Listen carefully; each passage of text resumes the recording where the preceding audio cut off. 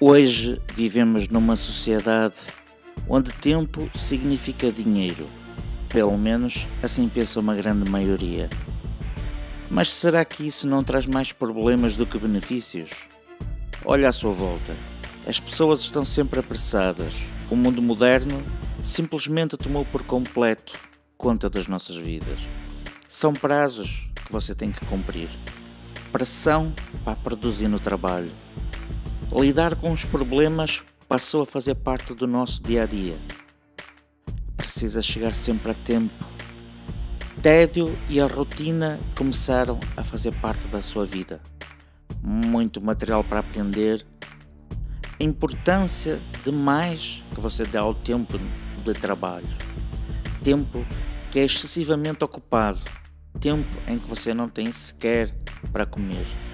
Noites reservadas para aulas, estudos, exames a serem realizados na escola, o stress domina a sua cabeça. Enxergam a vida como um fardo, porque na realidade há muito a fazer. Tem muitos desejos que são difíceis de satisfazer. Querem tudo perfeito, tornamos-nos inquietos, valorizamos demais o mundo material. Se desvalorizou por completo a amizade, a fraternidade, o amor. Os hormônios do stress tomaram conta do seu organismo. A bebida, essa passa a ser a válvula de escape. Será que adotar essa mentalidade em que tempo é dinheiro vai trazer realmente algum benefício para a sua vida, a sua saúde, o seu negócio ou simplesmente vai destruí-lo. Tempo é dinheiro. Sabia que este tipo de mentalidade pode levantar sérias consequências para a saúde?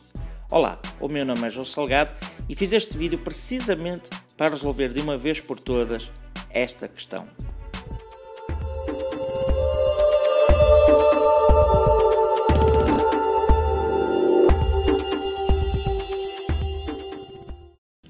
De acordo com um estudo da Universidade da Califórnia, concluíram que as pessoas que estão muito conscientes do valor econômico do seu tempo, as pessoas que pensam em tempo como sendo dinheiro, geralmente são mais estressados e apresentam níveis mais elevados do hormônio cortisol do que as pessoas para quem o valor econômico do tempo é menos relevante. Nesse estudo da Universidade da Califórnia, dois cientistas recrutaram 104 pessoas e pagaram-lhe para trabalhar por duas horas para uma empresa que nem sequer existia, uma empresa fictícia.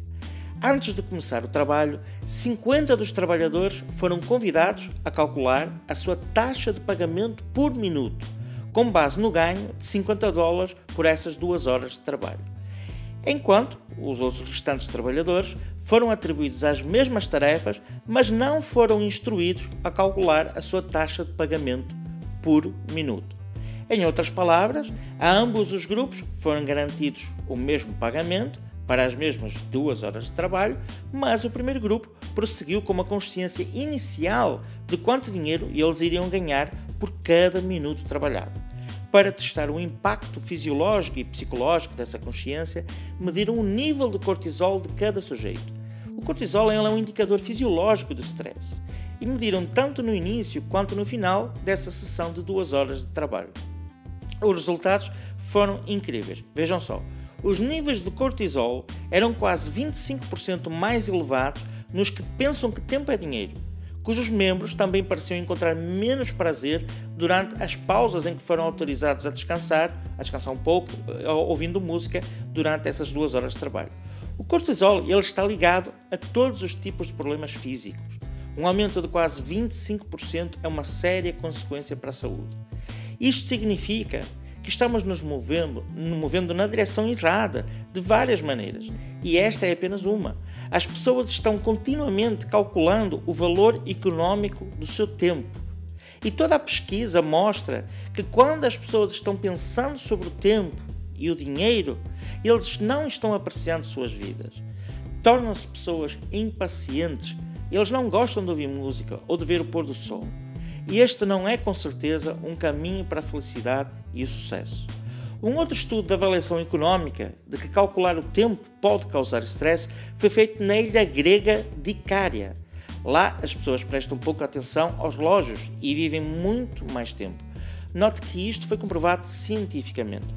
Por isso, pensar que tempo é dinheiro, adotar essa mentalidade, pode destruir por completo o seu negócio e você deve evitar a todo custo.